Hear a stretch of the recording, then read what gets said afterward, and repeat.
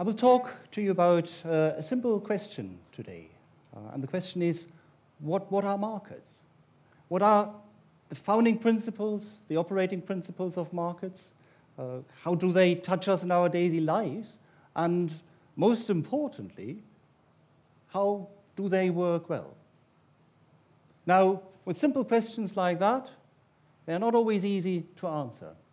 And with markets, part of the challenge is they're so much part of our everyday lives that we take their operation for granted. Now, that is not specific to markets. Most of us have a mobile phone and we just assume it operates. We don't have to understand how it works internally.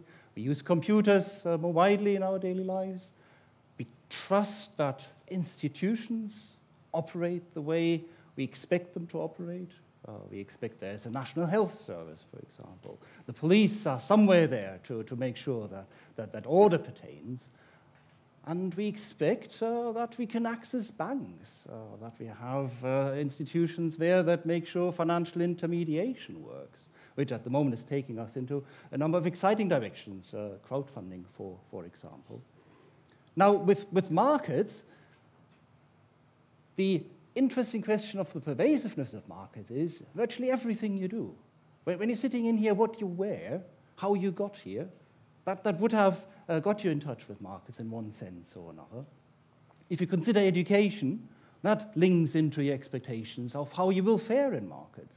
The cars you drive, the houses you buy or rent, and also the people you talk to. You're sitting today here in this event, you, you would have bought a ticket, and, and that would have been a market mechanism as well. So, the curious thing about markets is mostly we don't see them anymore. A market stall we recognize, and we might buy strawberries here in the region at market stalls, but for the most part, the markets that we engage with uh, are a bit more removed from, from market stalls as we know them. Now, if you go to economists, uh, the profession that, that studies markets in depth and allied professions, uh, financial specialists, maybe they can give us some answers on what markets are, how they operate, and, and most of the concepts and terms that they will use to explain uh, markets you will be familiar with. There's supply, there's demand, there are market prices, and somehow supply and demand in markets is balanced against each other so that there's an, if, if there's an increase in demand, then prices are bid up. Uh, if there's an oversupply, then prices are bid down. And we hope and we trust that that works well. And the reason we hope and that we trust that that works well is uh, that there is competition. Markets are institutions uh, that we hope and we trust actually channel competition to beneficial effects in society. And economists, since the Scottish Enlightenment, uh, Adam Smith over there in Kirkcaldy, um, they, they would talk about that, uh, they've talked about that for 200 years, uh, on the basis of describing markets as an invisible hand that somehow operates to our benefit, while what we are supposed to do in markets, we are to pursue our self interest. Now, that's the interesting thing about markets. But how does that work? How can it be that if I am egoistical, I look at my self interest, uh, and by doing so, I benefit us all? Well, let's, let's take an example. Let's take uh, the market for shoes.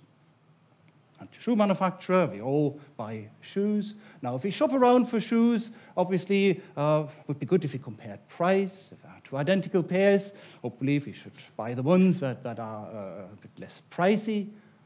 For the shoe manufacturer, they have a very strong incentive to produce shoes uh, in the lowest cost way possible. Now, here's the interesting bit. Of course, we as consumers, we, would like sh shoes to be not very pricey at all. So in that sense, we, we are allied to the interests of the manufacturers. Uh, but of course, their motivation is not to sell shoes cheaply. They're trying to sell shoes to us at the highest possible price. We'd like to see low-cost shoes, but they'd like to sell them very dearly to us. So how's that supposed to work? Well, it's competition. If, if there are more manufacturers around uh, uh, that can undercut the price while still covering their costs, they will go into the market. And in that sense, uh, the price uh, that we buy shoes for, hopefully, if markets work well, uh, reflect the cost of production. Now, for that to work well, I mentioned some of the factors already. We as consumers, we have a duty to look after ourselves, our self-interest, trying to, to look for the least costly shoes available that we're interested in, manufacturers, as opposed to, to look at how they organize the manufacturing, the management process. And if that does not work well, well, there might be some remedies. Maybe we talk about financial literacy of the consumer, how they manage their budgets, how they engage with markets. Uh, if shoe manufacturers don't work uh, in, in, that efficient way, maybe we can send them to, to, to management schools so that they uh, learn better how to maximize their profits. But what about those markets themselves? What about competition? What happens if that doesn't work? What happens if shoe manufacturers get together and there's a conspiracy to keep the prices up? Now, if you've followed the news as I have last week, this week, uh, you will have seen Financial Times was all over the media. in financial markets, that's exactly, that's exactly what's happening in those banks. That's happening in, in foreign exchange markets. They get together behind our backs in online rooms and they talk about how to, how to manipulate key market indicators, key market prices. So that doesn't seem to work well. And have we looked at all the factors that we need to consider to understand why, in particular, financial markets at the moment are difficult entities in terms of institutions. I'm suggesting so far in my story of markets, we have not really touched on a, a very important point. And in order to, to illustrate that point, I invite you on a journey. In fact, I invite you to think back on when you last went on a taxi ride. It's, it's not like buying shoes, but it's uh, contracting a service. So what happens? You, touch, you flag a taxi down, door opens, you tell the driver where you'd like to go, um, you sit down, you relax, and hopefully the driver gets you to the destination that, that you want to get to. You look around, yeah, that's where I want to be, right? Okay, so now you need to settle uh, the, the, taxi fare, you look at the meter, um, you tender the, the amount expected, uh, you leave the taxi, and that's it. True, if you go separate ways, you never see each other again. Now, here's an admission to a guilty pleasure of mine. As academics, we tend to travel the world to attend conferences, and typically we have to get from the airport to a hotel, to the conference venue, uh, and sometimes we use taxis. And, and over the last 15 years, uh, I've quite enjoyed talking to taxi drivers uh, about their job. But not just that. I would also ask them, what would you do if I simply got out and did not pay? Now, that gets you into very interesting conversations, depending on the country that you find yourselves in. So, in Germany, for example, the police is mentioned rather swiftly. The police will get you, of course. Contracts will be enforced. You'll, you'll find yourself in front of a judge or in front of the police. In Italy, they would call their mates. Yeah? So other taxi drivers would start looking out for you. They would trust their mates. But in Holland, I was sitting next to a big taxi driver. He just showed me his biceps. Maybe I didn't do enough exercise, but I paid up. In Chicago, woman taxi driver, she just very quietly, calmly reached underneath her seat and produced a Colt. I, I paid there too. But, but was in, what was interesting, I mean, she, she explained me in quite some detail how she's scanning clients and, and how she only engages with clients and only stops, will only be uh, let flag down if they have a trusty appearance. Now, in, in, in the West Midlands, it's very interesting. Um, taxi drivers overall um, have a higher risk uh, of being subject to crime. And that is on the minds of taxi drivers. And that, that is something that, that has become a political issue in, in, in some regions of, uh, of the UK. And, and, of course, imagine my surprise when I first uh, visited London quite, quite a long time ago, and you sit down, you relax, and it goes click, putsch. Left and right, the doors are closed, you can't get out. Uh, so in my discussion with my first London taxi driver, he just explained, look, uh, I, I, will simply not lift my foot from the brake because in the, uh, the Hackney uh, cabs, that means that the doors remain shut. if you read news articles on that, sometimes there, there are instances uh, where a customer is trapped in a taxi. So, so ask yourself, why would you actually pay when you're on a taxi ride? Because you could simply just run it, leg it. Maybe we went through some of the factors that would probably persuade you to pay.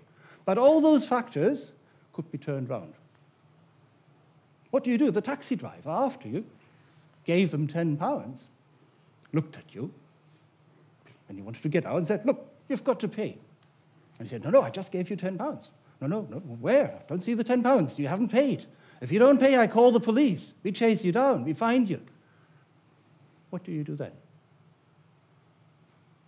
So, the point here, the more general point is that's, that's a daily transaction. For a basic service, it relies on an underlying notion of civility that is in place between yourself and the taxi driver. And for the most part, that actually works. Sometimes it does not, but for the most part, it actually works. And it does not work because of regulation, because we've got rules of the game that can be enforced so that everybody who plays the game sticks to those rules, because otherwise they get punished. No, they, they, they relate to those rules because they're, they're rules of basic civility of how we actually engage with each other in civil societies. So when today we talk about problematic dimensions of financial markets, a lot of the discussions over the last four years have been where has the regulator been? Should we not regulate the markets in better, more efficient ways? Well, of course, that has happened to some extent. Anybody who's followed the discussions can make up their minds to what extent that has been successful in the various geographies that are relevant in global financial markets. But is that the only, is that the only factor that we need to take into account? And my suggestion is it is not. All of us have a duty when we think about financial markets to not get drawn into that story that they're global, they're anonymous. And those traders, they are there to get the greatest possible financial benefits and bonuses from engaging in those financial markets. No, in our minds, we should not think of financial markets as these anonymous entities. They're similar to markets for services like the taxi ride. They're similar to when we engage in the market for shoes. We understand them much better than we think. And we should not, when we go to the NHS, when we engage with professionals there, where we have a basic trust the professionals there, that, that they, they live up to certain standards. And you can find that in other professions as well. We should have the same expectations on an individual level with those who engage in financial markets. And not just regard that as a space that is different, that is anonymous, that is driven by, by different rationales. No, it's not. Because markets are a core part of our civil society. And without that underlying civility that we have to expect of each other in this society, including all those who are engaged in the financial system. Without that, there's no hope for civil society overall.